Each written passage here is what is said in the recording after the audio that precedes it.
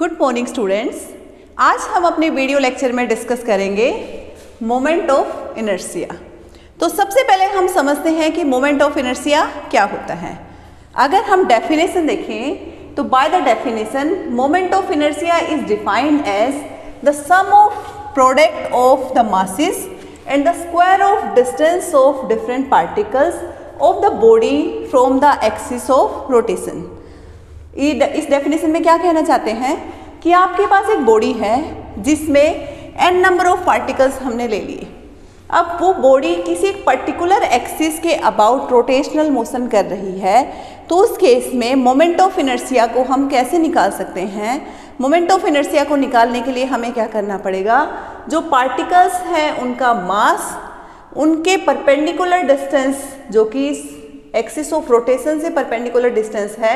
इसके स्क्वायर के साथ मल्टीप्लाई करके हम सबको सम कर देते हैं। Then we can find moment of inertia of this body about this axis of rotation A B so इस फॉर्म में अगर हम मोमेंट ऑफ़ इनर्सिया लिखना चाहें तो यहाँ पे मोमेंट ऑफ़ इनर्सिया जिसको कि आई से रिप्रेजेंट किया जाता है वो हो जाएगा आपका। मैंने कहा यहाँ पे एन नंबर ऑफ़ पार्टिकल्स है मेरे पास जिनको कि मैं m1, m2, m3, m4, m5 and so on स्टे रिप्रेजेंट कर रही हूँ।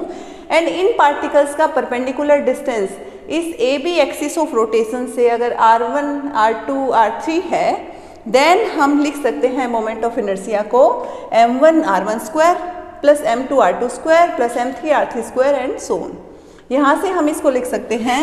I equals to summation m r square this is formula of moment of inertia तो अगर कोई भी आपके पास बॉडी है, जिसका मोमेंट ऑफ़ इनर्सिया किसी पर्टिकुलर एक्सिस ऑफ़ रोटेशन के अबाउट निकालना है कि ये हमारे पास बॉडी है, इस एक्सिस के अबाउट अगर ये रोटेट कर रही है तो मोमेंट ऑफ़ इनर्सिया निकालने के लिए हमें क्या करना पड़ेगा? इसके एन नंबर ऑफ़ पार्टिकल्स हैं उन इंडिविजुअल पार्टिकल्स के मास को, उनके परपेंडिकुलर डिस्टेंस के स्क्वायर के साथ मल्टीप्लाई करके सबको यहाँ पे ऐड अप कर दें। So this is formula for moment of inertia अब हम कहते हैं कि इस कंप्लीट बॉडी का मास हमारे एक पर्टिकुलर पॉइंट पे कंसंट्रेटेड है कि हम ऐसा मान ले कि पूरी बॉडी इस टाइप से बिहेव कर रही है कि इसका कंप्लीट मास एक सिंगल पॉइंट पे कंसंट्रेटेड है और यहाँ पे इस पॉइंट को हमने कंसिडर कर लिया।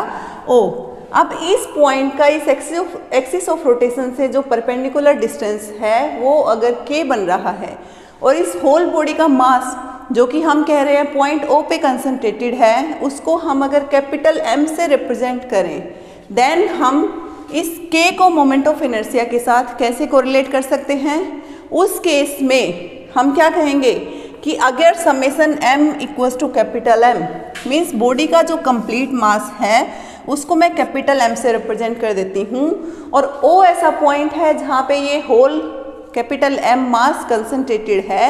In that case moment of inertia can be written as m I equals to m into k square and k क्या है यहाँ पे? इस ओ पॉइंट का परपेंडिकुलर डिस्टेंस इस एक्सिस ऑफ़ रोटेशन से। तो यहाँ पे मोमेंट ऑफ़ इनर्सिया का फॉर्मूला हो गया I equals to M K square अब मुझे के की वैल्यू फाइंड आउट करनी है। देन मैं क्या कह सकती हूँ? K square equals to I by M I is summation m r square and capital M is summation m तो यहाँ से मेरे पास आ गया के स्क्वायर की value summation m r square upon summation m यहाँ से मैंने क्या कंसिडर किया अगेन कि जो बॉडी है, वो एन नंबर ऑफ़ पार्टिकल से मिलके बनी है।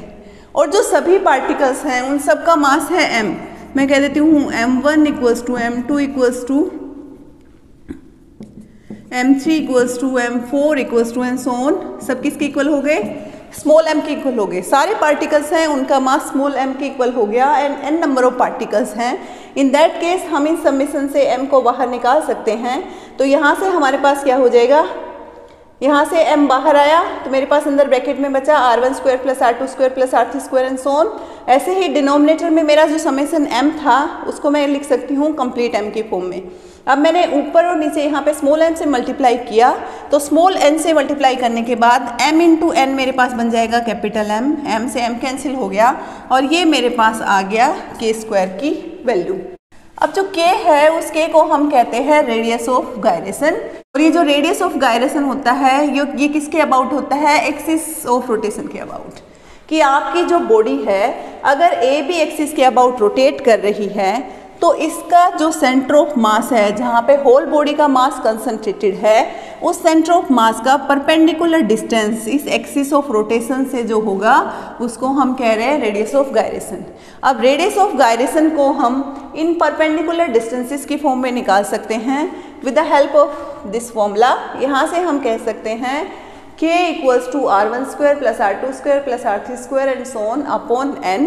N total number of particles हैं. एंड यहाँ से हमारे पास के की वैल्यू आ जाएगी square root of r one square plus r two square plus r three square and so on upon n तो ये वैल्यू हमारे पास आ गई रेडियस ऑफ़ गायरेसन की। अब अगर हमें कोई ऐसा ऑब्जेक्ट पता है जिसका सेंटर ऑफ़ मास हमें पता है सेंटर ऑफ़ मास का डिस्टेंस हमें एक्सिस ऑफ़ रोटेशन से पता है तो उसका मोमेंट ऑफ़ इनर्सिया निकालने के लिए हमें उस होल बॉडी के मास को इस रेडियस ऑफ़ गायरेशन के स्क्वायर से मल्टीप्लाई करना पड़ेगा। तो यहाँ पे हमें इंडिविजुअल पार्टिकल्स के डिस्टेंस को लेने की ज़रूरत नहीं पड़ेगी। तो ये हमारी टर्म है moment of inertia and radius of gyration अब नेक्स्ट पॉइंट आता है physical significance of moment of inertia physical significance अगर समझना चाहें मोमेंट ऑफ़ इनर्सिया को तो उससे पहले, सबसे पहले हम अपना न्यूटन फ़र्स्ट ला है, उसको रिवाइज करते हैं। न्यूटन फ़र्स्ट ला को क्या कहते हैं? Law of inertia means if an object is at rest और moving with a constant velocity it will remain in the same position until an external force is applied on it. इसको हम क्या कैसे समझ सकते हैं? कि आपके पास कोई एक ऑब्जेक्ट है, ये ऑब्जेक्ट है। अगर ये रेस्ट में है तो रेस्ट में ही रहेगा। अगर ये कांस्टेंट वेलोसिटी से मोशन में है तो कांस्टेंट वेलोसिटी से मोशन में ही रहेगा। जब तक हम इसके ऊपर कोई एक्सटर्नल फोर्स अप्लाई नहीं कर देते। This is law of inertia and Newton's first law अब ये जो लॉ ऑफ़ इनर्सिया या न्यूटन्स फ़र्स्ट लॉ था लीनियर मोशन के लिए हम डिस्कस करते थे। जब हम रोटेशनल मोशन की बात करेंगे तो वहाँ पे भी सेम लॉ एप्लीकेबल होगा। रोटेशनल मोशन में क्या रहेगा? Again the body if the body is at rest और it is revolving around an axis with a constant angular velocity it will remain in the same state unless an external torque applied on it कि जब तक अब rotational motion की बात आ रही है तो रोटेशनल मोशन के केस में आपका मोमेंट ऑफ़ फोर्स अप्लाई होगा इसके ऊपर, जिसको कि हम टोर्क भी कहते हैं या फिर कपल भी कहते हैं। तो रोटेशनल मोशन में हम बात कर रहे हैं टोर्क की तो हम क्या कहते हैं कि आपकी बॉडी है। अगर वो रेस्ट पे है तो रेस्ट पे ही रहेगी। अगर वो कांस्टेंट एंगुलर वेलोसिटी से रोटेट कर रही है तो वो रिमेन उसी वेलोसिटी से रोटेट करती रहेगी, जब तक उस पर एक्सटर्नल टोर्क नहीं लगाया जाता। तो यहाँ पे आपका न्यूटन्स ला है, वो रोटेशनल मोशन में भी एप्लीकेबल है। और यहाँ पे हमारे पास रोटेशनल मोशन में एक टर्म आई मोमेंट ऑफ़ फोर्स अब जब लीनियर मोशन था, उसमें जहाँ आपका लॉ ऑफ़ इनर्सिया था, वो क्या कह रहा था कि बॉडी है, उसकी खुद की कुछ इनर्सिया है, जो उसको सेम स्टेट में ही बनाए हुए है। और वहाँ पे जो इनर्सिया होती है, थी that is directly proportional to the mass mass पर डिपेंड करती थी। मास अगर ज़्यादा होता था तो ऑब्जेक्ट का इनर्सिया ज़्यादा होता था। मास अगर कम है तो ऑब्जेक्ट का इनर्सिया कम है। और उसकी स्टेट को चेंज करने के लिए हमें उतना ही फोर्स लगाना पड़ता था। अब जब ऑब्जेक्ट आपका रोटेशनल मोशन में है तो फोर्स की जगह आपका हो गया मोमेंट ऑफ़ फोर्स जो कि हमें अप्लाई करना पड़ेगा इस ऑब्जेक्ट की स्टेट को चेंज करने के लिए। तो उस मोमेंट ऑफ़ फोर्स के करस्पॉन्डिंग हमारा अब नॉर्मल इनर्सिया की जगह टर्म आएगी moment of inertia so moment of inertia है, उसका सिग्निफिकेंस क्या हो जाएगा? Moment of inertia is a measure of rotational inertia कि कोई ऑब्जेक्ट है रोटेशनल मोशन में है तो कितनी उसकी रोटेशनल इनर्सिया है, उसको मेजर करना है तो वो आपको मोमेंट ऑफ़ इनर्सिया की टर्म में पता लगेगी। अब greater the moment of inertia of a body greater is torque और couple required to produce a given acceleration क्योंकि ऑब्जेक्ट आपका है, किसी वेलोसिटी से मोशन में है कांस्टेंट वेलोसिटी बनी रहेगी, जब तक कोई एक्सटर्नल फोर्स अप्लाई नहीं करते। अब एक्सटर्नल फोर्स अप्लाई कर रहे हैं तो आप वेलोसिटी को चेंज कर रहे हैं मीन्स पार्टिकल है, उसको एक्सेलरेट या डी एक्सेलरेट कर रहे हैं।